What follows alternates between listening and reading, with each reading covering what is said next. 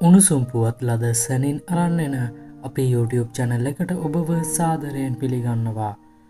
බෝම්භබියක් හේතුවෙන් හදිසියේ ඇතෑන්ස් ගුවන් තොටු බලට රයන් එයා ගුවන් යානය ගොඩ බැස්සූ පුවතක් වාර්තාාවනවා.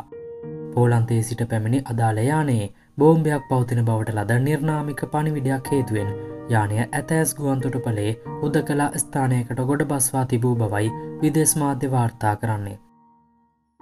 ආරක්ෂක අංස මැදිහත්ව යානයේ පරීක්ෂාවක් සිදු කර ඇති අතර එහි තිබී කිසිදු පුපුරන්ද්‍රව්‍ය හමුවී නොතිබූ බවයි වාර්තා වන්නේ.